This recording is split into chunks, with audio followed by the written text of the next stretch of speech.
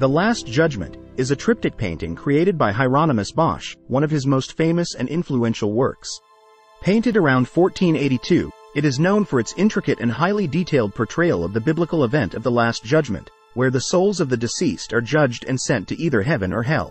Like many of Bosch's works, The Last Judgment is a triptych consisting of three hinged panels. The left panel shows the saved ascending to heaven. The central panel depicts the Last Judgment, and the right panel presents the damned being cast into hell. The central panel, which is the most iconic, is filled with an array of intricate and bizarre creatures, reflecting Bosch's characteristic surreal and nightmarish style.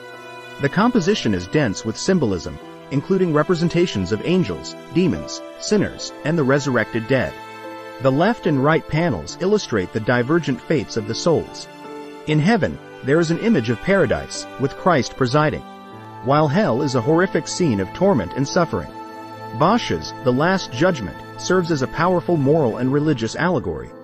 It conveys the consequences of one's actions in life and the judgment that awaits in the afterlife.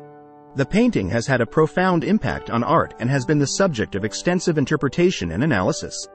It has influenced artists, theologians, and scholars throughout the centuries. The Last Judgment is not only a testament to Bosch's artistic skill but also a reflection of the religious and moral concerns of his time. It continues to be admired and studied for its intricate detail, rich symbolism, and the profound questions it raises about sin, salvation, and the afterlife. Bosch's imaginative and thought-provoking portrayal of the Last Judgment remains a lasting contribution to the world of art and theology.